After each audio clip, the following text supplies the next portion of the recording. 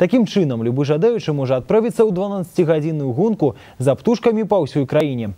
Чэмпіянат пройдзе 2 верасня з 6 раніцы да 6 вечара. Да ўдзелу запрашаецца каманды з чатырох чалавек. Мэта кожнай убачыць за 12 гадзін як мага больш відаў птушак. Пры гэтым можна карыстацца оптыкай і любымі транспартнымі сродкамі. Можна адрозніць птушку па голасе і таксама залічыць гэты від. Пры умове, калі усе сябры каманды чулі. Каманда, якая набірае відаў больш за астатніх выйграе. Калі ў каманд аднолькавая колькасць відаў выйграе тая, якая паведаміла пра фініш раней.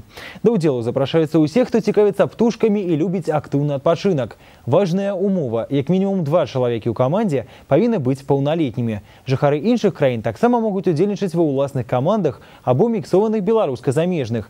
Заяўкі на ўдзел прымаюцца па электронным адрасе, які вы зараз бачыце на сваіх экранах. Больш інфармацыі на сайце грамадскай арганізацыі ахова птушак бацькаўшыны.